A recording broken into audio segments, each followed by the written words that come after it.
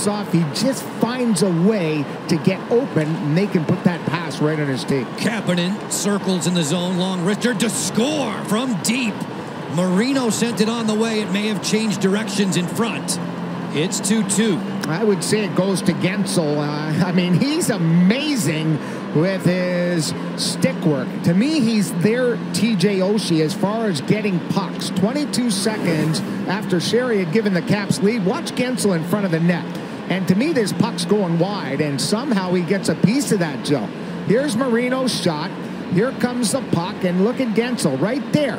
He gets the shaft of his stick on a puck going wide. Incredible tying goal by the Pittsburgh Penguins. We're two apiece here in the second.